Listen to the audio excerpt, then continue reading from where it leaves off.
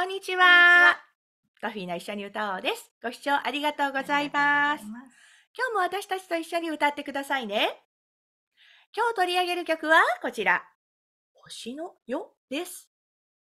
えーコンパースという方が作った、えー賛美歌、慈しみ深きのメロディーに、明治43年、1910年に杉谷大水という方が日本語詞をつけた文部省唱歌です。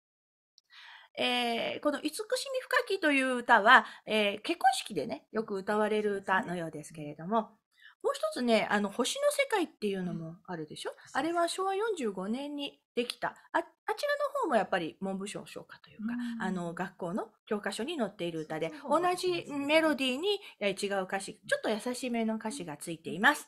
今日は、あの、この格調高い文語体の、あの、歌詞を、私たち、えーふみおさんと私の、ヘイヘイデュエットで 挑戦したいと思います。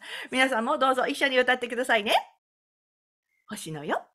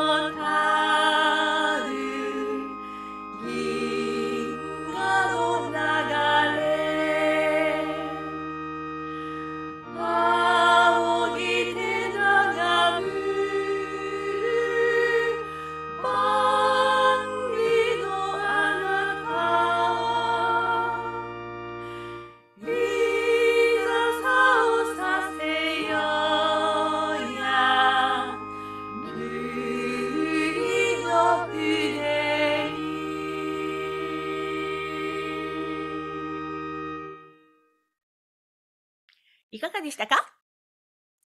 みちゃんは、この難しい方は知らなかったのよね。はい星の世界しかね。はい。若いってことだよ。若いってこと私、星の世の方を習ったんだもの。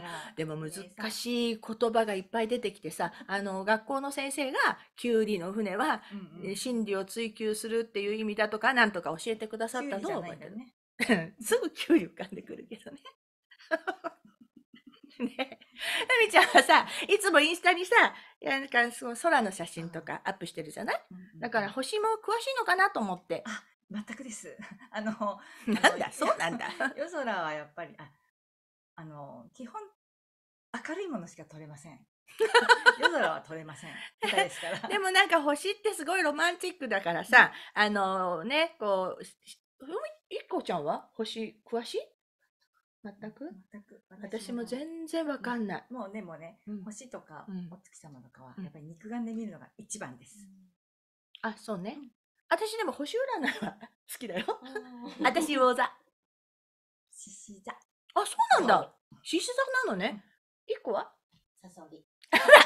サソリ座の女ですって。ふみおちゃん乙女座かと思ってたら獅子座なのね。乙女って感じなんだけど。ということで、皆さんは何座でしょうか？あの、ちょっとね、自分のを調べてみていただけるといいなと思います。一緒に歌っていただきありがとうございました。また一緒に歌いましょう。えーチャンネル登録と、そして、ハッシュの方もどうぞよろしくお願いします。それでは素敵な一日をお過ごしください。さようなら